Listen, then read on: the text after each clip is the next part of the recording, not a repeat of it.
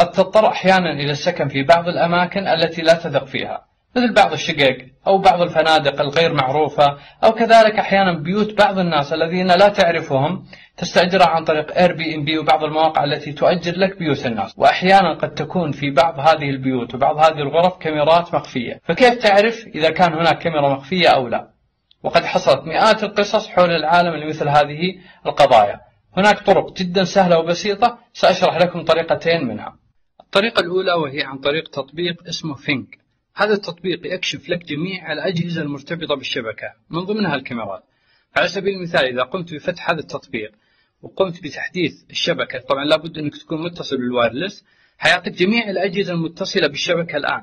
فإذا وجدت علامة الكاميرا في هذه الشبكة يعني أنه هناك كاميرا مرتبطة بهذه الشبكة الآن حاول تبحث عنها خاصة إذا كانت موجودة في غرفتك. التطبيق مجاني موجود في متجر الأندرويد والآيفون واسمه فينك التطبيق الثاني هو تطبيق ديتكتر هذا التطبيق يقوم بمساعدتك في معرفة أماكن الكاميرات المخفية عن طريق الكاميرا تبع الجوال. فبمجرد ما تفتح التطبيق ستظهر لك الكاميرا. تضغط على المكبر وستفتح العدسة أو الفلاش الخلفي ويقوم بتحديد الكاميرات. طبعا يفضل أن تقوم بإغلاق الإنارة في الغرفة لمعرفة الكاميرات بشكل أدق.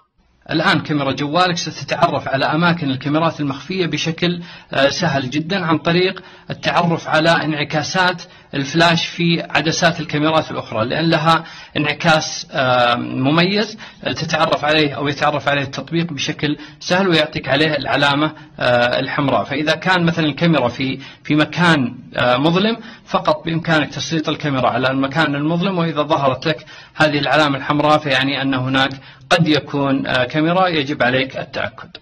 طبعا تطبيق ديتكتر التطبيق الثاني ليس مجاني بشكل كامل ولكن يتوفر بنسخة تجريبية مجانية ويتوفر في الأندرويد عدد كبير من التطبيقات المشابهة التي